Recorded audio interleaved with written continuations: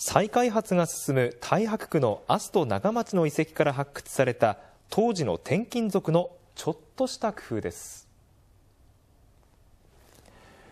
青葉区で今日から展示が始まったこちらの土器。奈良時代の集落長町駅東遺跡で去年見つかりました。使い古した土器を重ねて四脚にしかまどの中で亀を支えています。下で火を燃やした時に効率がいい位置でなるように高さを調整するために四脚をこう入れてそこの部分に土器の底部が乗っかる形で煮炊きをやっています。長町駅東遺跡の300軒ほどの縦穴式住居には関東地方から派遣された役人らが短い期間に住み替わっていてそれぞれの家のかまどの形に合わせて工夫して暮らしていた様子が垣間見えます。